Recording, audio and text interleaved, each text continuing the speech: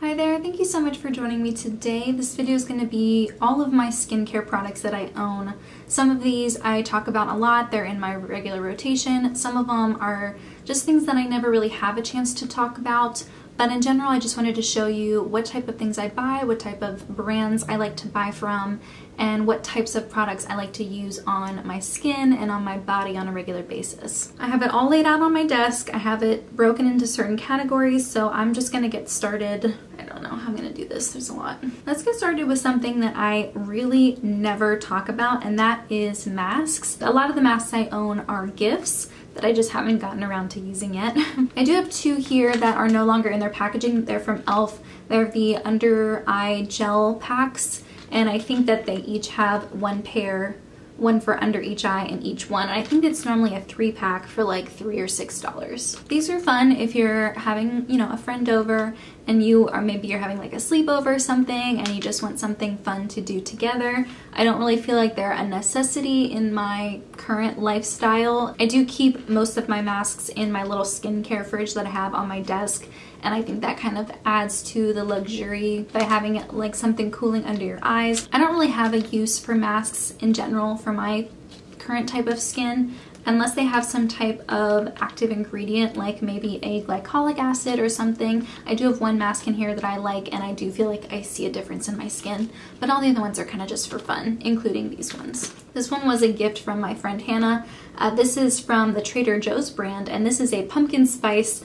biocellulose face mask and this is one of those masks that you pull out and it's a sheet and you put on your skin and this seems like it's gonna be really fun but I'm also kind of scared. I'm just sure it's got a lot of fragrance in it, right? Because it's pumpkin spice flavored and I just, I don't know how that's gonna translate into skincare. I know what it tastes like, I know what it smells like, but I'm not sure how that's gonna feel on my face. Uh, but I probably should use it. She gave it to me quite a while ago and Trader Joe's is a cruelty-free brand, I'm pretty sure. And I think she said she only got this for like a dollar. There are a couple things from the Trader Joe's skincare line that I would like to try. If you have any recommendations, let me know. The other one is, again, a gift from my friend Hannah, and this is from the Dr. Jart brand, and it's the Rubber Mask Hydration Lover Hydrating Wrapping Rubber Mask. And I honestly don't even know how this works. It kind of looks like you put whatever is in this little packet here on your face and then you put the rubber mask over it and you leave it on for 40 minutes. I feel like that's gonna make me feel really claustrophobic. I'm not sure. I'll have to test it out and talk about it in a future empties video. It seems really fun. I hope that's not what I look like. That looks really creepy and I don't want to look like that for 40 minutes, but we'll have to see. I'll let you know in a future empties video. Now two masks that I do really like and I think are effective are the one from Andalou Naturals. This is the Pumpkin Honey Glycolic Masks. And then this is from the Aztec Secret Indian Healing Clay Cleansing Clay Mask. I got this from Amazon years ago and I think it's nice. I just don't ever remember to use it. This one I really love. I do love using glycolic acids. I think they're really good chemical exfoliant that works really nicely with my skin and I do feel like my skin feels smoother, it has less texture, it looks, you know, just nicer. But I always forget to use this. I need to use it more, but it's really nice. I like it. And this one kind of has a pumpkiny scent. So maybe this one from Trader Joe's won't be as scary as I'm imagining. And then this one, I think it goes by different names on the internet. And it's just like a clay powder that you mix with water and then you put on your skin. It's natural calcium bentonite clay and it's supposed to just pull out everything out of your pores. So it's kind of like a super, super cleansing one. You don't want to leave it on your skin for too long because I do think it would be very stripping, very drying, and I just don't use it that much. I need to use it more. Now let's talk about the other like acids and retinols and stuff that I have in my collection. I have the Pixi Glow Tonic. You guys know I love this really really big fan of that i only use it like once a week and then i have these elf brighten up peel pads they are just little fabric pads that have a, I think it's a glycolic acid in it and you just use that to be both a physical and a chemical exfoliant These are kind of a dupe of the First Aid Beauty pads, which I much prefer. I think these ones are really small and flimsy and you need a couple to cover your entire face while the First Aid Beauty ones, you only need one for your entire face and it doesn't fall apart so easily. So these ones are not as good and once I use them up, I won't buy them again. And then this one is something I forgot I even owned. This is from The Ordinary. It's the Granactive Retinoid 2% Emulsion and this is just a retinol product and I'm always afraid to use retinol. Okay, this one's definitely expired. This is why I need to check in on myself more often and actually figure out what I have in my skincare routine because if not, things that I purchase will just go bad and I will not even know about it. So that's unfortunate. Now let's move on to the facial sprays. You guys know I love facial sprays. I did a video where I compared like 19 different face sprays and I have used most of them up at this point and I have a couple left over. This one here is the Yes to Cucumber Soothing Cooling Hydrating Mist. I don't like this. I think I will eventually just get rid of it. Um, it is one of those like aerosol can sprays and the scent is super strong. You'd think a cucumber would be more lightweight, but it's not. It's super, super strong. It makes my skin feel kind of sticky and whenever I do spray it, it because of the way that the aerosol can works, I can just like hear it like crackling in my ears. Like I just feel like it gets everywhere in my hair, everywhere whenever I put it on. So I'll, I'll most likely declutter this because I, I have not found a way to use it up that hasn't been gross. same with the Body Shop Energizing Mandarin Face Mist. These are just so heavily scented. I have tried the other scents from this line. I think there's four total and they're just so heavily scented. I don't like them. I don't think they're that good. And I recently used up the coconut version. I had to dilute it with water a lot in order for it to even be usable. So this is not good. I wouldn't recommend the Body Shop ones. This one from e.l.f. is the Glowy Glow Dew Mist with coconut and argan oil. And I kind of hesitate to use this every day because I worry that maybe the coconut oil in it or something will be pore clogging. I haven't noticed any breakouts yet but I haven't really used a lot of it and I only just recently came back to use it again because I just finished like I said, the Body Shop coconut one. Once again, I'll have to let you know, but it's not something I think I would repurchase. I have the Hylamide Hydra Density Mist. This is a multi-depth toning treatment for water density. I haven't used it that much just because I've been trying to use up some of the other ones. I, I think it kind of adds some moisture to your skin. I think it's more than just spraying water on your face. Hylamide, the Deciem brand, I feel like they do put really good ingredients in their skincare. Everything is fragrance free and relatively affordable. I don't really know what's in here that would be toning. It seems like it just has like mostly rose water and a couple other ingredients that I don't really understand, but I think it's good. I think it's a good face spray. I think once I finish up this one, I will most likely purchase a giant of the Pixi Hydrating Milky Mist or maybe I'll go back to the e.l.f. Aloe Mist or the e.l.f. Coconut Mist or I like the Heritage Store sprays a lot. There are a couple that I do really like, so I think I'll probably just cycle through those, but this is nice. I'm gonna really, really quickly go through all of my SPFs. I do have a video that I just put out with how long does it take to use up sunscreens, where I talk about a couple of these, and I did just put up a haul video previously on this past Wednesday where I talked about a couple of these products as well. So I'm not going to go into super detail, but I do want to talk about what I have in my in my SPF arsenal. And the first product is the Beach Shield from Krave. This is an antioxidant day fluid. It's 50 mils, $20 full price. I really like this. I have talked about it before in great detail, especially in that SPF video and I do really enjoy it. If it were a little more affordable, I think I would purchase it more regularly and have it be like my staple SPF product. If I can catch it on sale, I will buy it again, but uh, there are other SPFs that I really like too that I can most likely find for more affordable prices. So it's not like I need this one. This isn't like my number one only because of the price point. Another one here that I will most likely keep repurchasing is the Julep No Excuses Invisible Sunscreen Gel. This is SPF 40. You get an ounce. Typically, I think it's $28 full price, but I found this on the Costco website for half of that.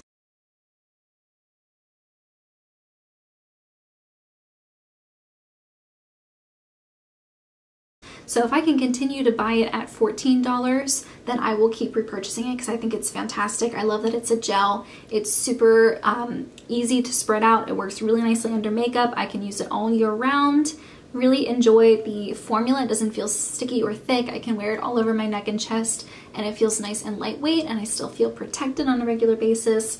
I really like this. I do have a sunscreen spray here from Ulta. I will most likely get rid of this. I, it, number one, it's multiple years old, so I don't even think the SPF in here is good, but this is SPF 50 water resistant. It says it has a matte finish, and it says it's a rose water setting spray, but there's no rose in here that I can detect.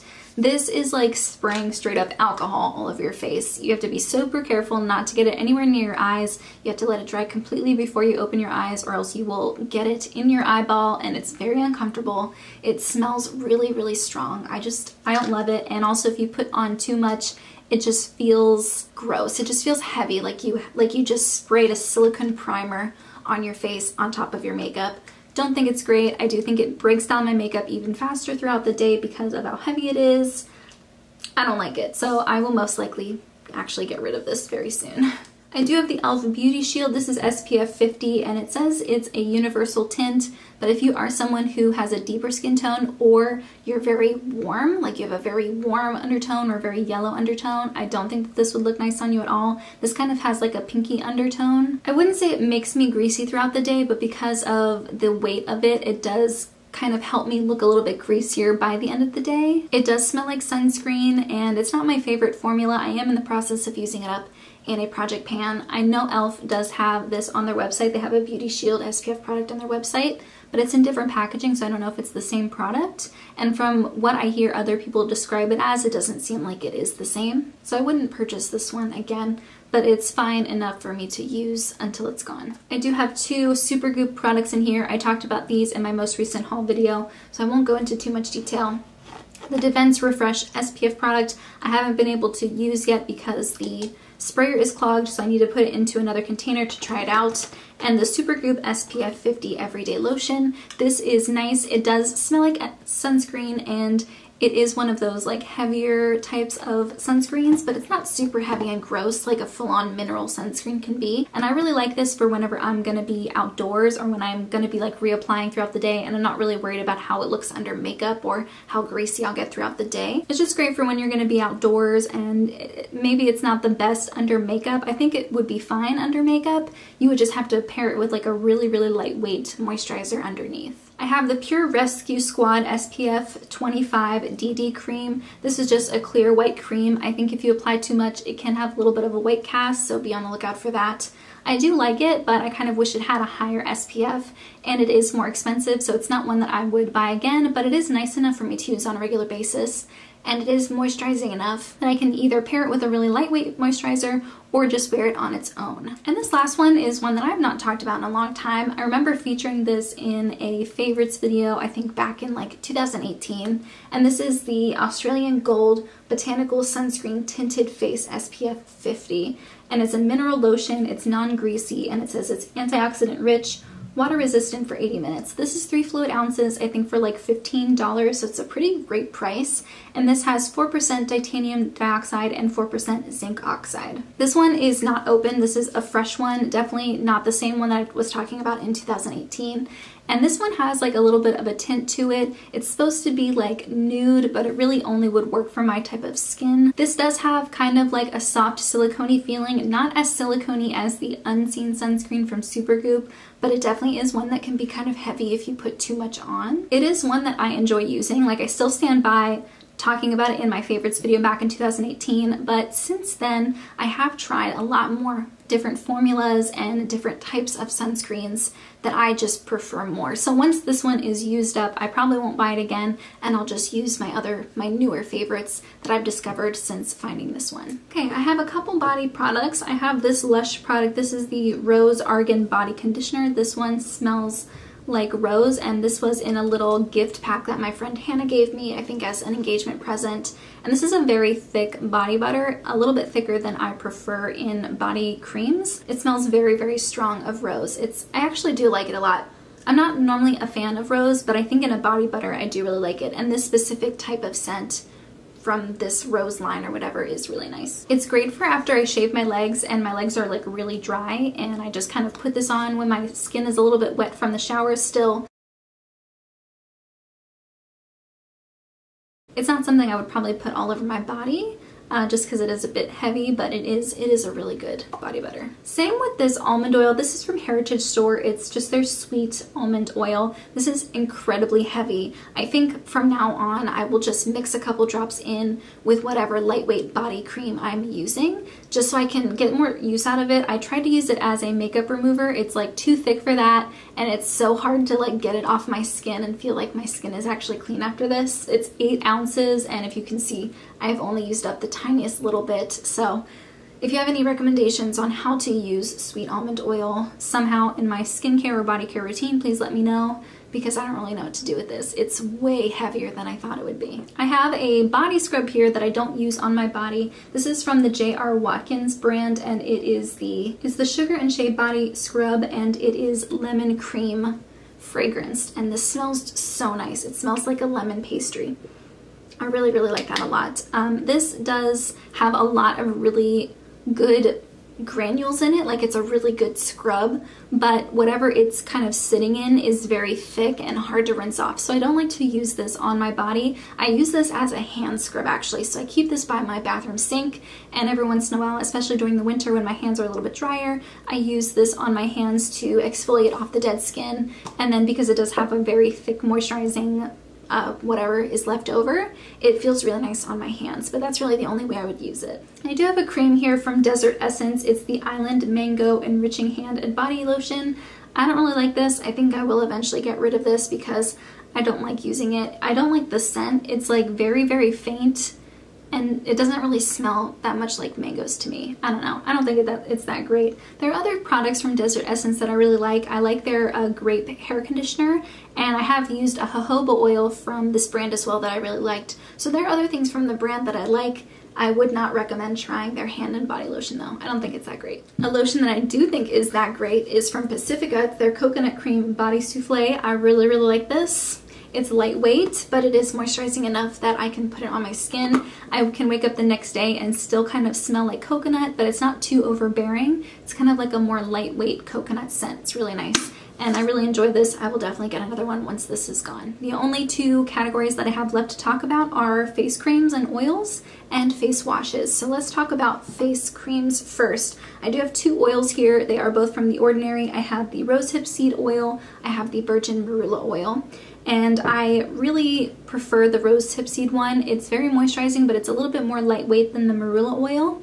Uh, but sometimes the rose hip seed oil is not in stock, so I purchased the marula one. They're relatively interchangeable for me, but if I had to choose one, it would be the rose hip seed oil.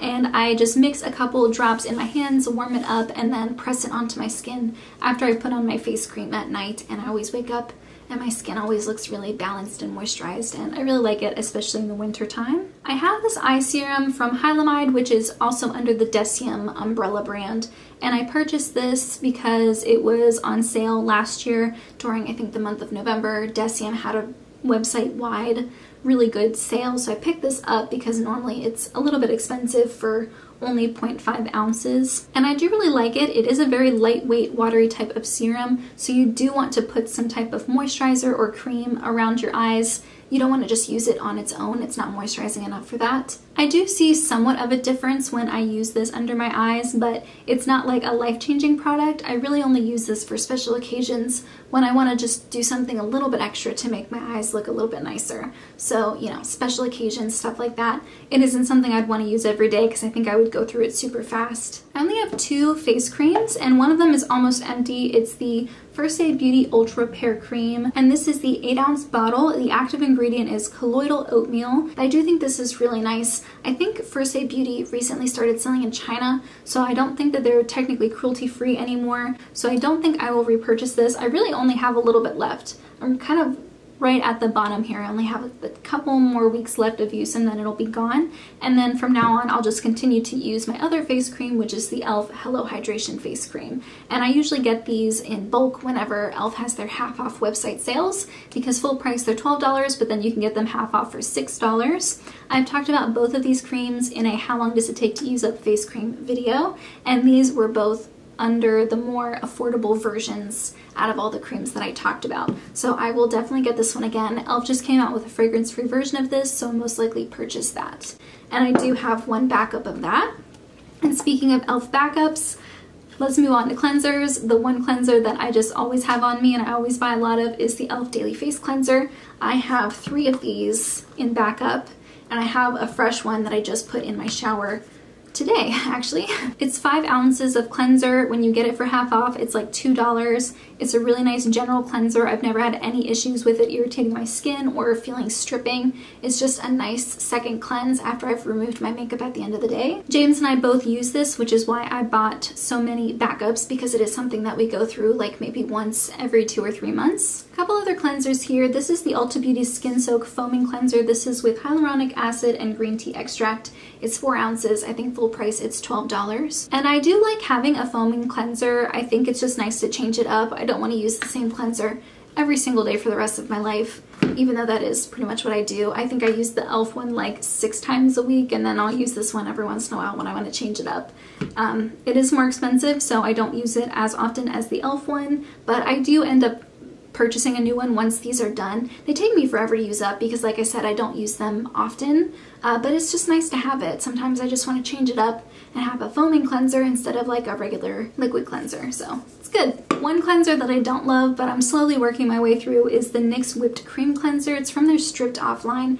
I don't even know if they sell this anymore on their website. They came out with a whole like stripped off line after they came out with their stripped off micellar water, which you guys know I really enjoy. They also had other ones within the line that I never purchased because they actually were pretty expensive. They were like 15 to $18, which is out of my price range for skincare. This one I don't love. I do keep it by my bathroom sink. Whenever I wash my face at the sink, I just use this, but I typically don't. I usually wash my face in the shower because I shower at the end of the day, so I use an oil cleanser to remove my makeup and then I jump in the shower, rinse it off, and then use the e.l.f. cleanser to be my second cleanse. So I don't use this all the time. This is a white product that foams up and then whenever you rinse it off, it does make your skin kind of feel squeaky, which I'm not in love with. I haven't noticed any bad effects on my skin from using it, but I don't use it all the time, so that might be why. But I do think it, if it is something I use every day, it could be pretty stripping. I won't purchase it again, but it's fine to use up. One that I do really like is this Pacifica Kale Detox Deep Cleaning Face Wash. This one is probably a little bit more stripping than the e.l.f. one, so once again I wouldn't use it every day, but I actually just use it whenever I travel, and they do sell these travel sizes on the Ulta website, so once I finish this one up, I'll buy another one and keep it as my travel cleanser. And the last product I want to talk about is an oil cleanser from Dermalogica. This is 5.1 ounces and full price it's $45. I talked about this in my most recent haul video that went up on Wednesday and I said that I'm already two-thirds of the way down and I've used it like 30 something times so I might just barely get 50 uses out of it before it's done. I just don't think that's a very good value. I'm sure there are other oil cleansers out there that are much more affordable per use so even though this was a good oil cleanser, I don't think I would buy it again. It's just too expensive. And also it kind of has like a bitter orange scent to it, which I'm not a fan of, but it is a good oil cleanser. It rinses off clean. It does get rid of all my eye makeup and stuff. So it's good performing. I just don't like the price point. So that is everything in my skincare collection. I do have a skincare collection from years ago. I think it was back in 2018 again, or maybe even 2017. So I think it'll be interesting for me to go back and look at what I had in that video versus today. Do I still use the same type of products? Do I use the same types of brands? And I'm sure there are even a couple products in here that are the same product from several years ago. So I should probably go through and make sure I don't have anything that's expired.